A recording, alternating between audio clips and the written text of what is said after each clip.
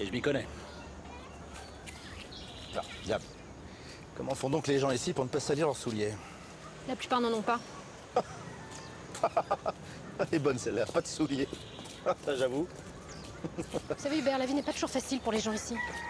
C'est d'ailleurs le propre des dictatures. Une dictature, comme vous y allez. Vous êtes bien sympathique, Dolores, mais épargnez-moi vos analyses politiques. Savez-vous seulement ce que c'est qu'une dictature? Une dictature, c'est quand les gens sont communistes. Déjà, qu'ils ont froid, avec des chapeaux gris et des chaussures à fermeture éclair.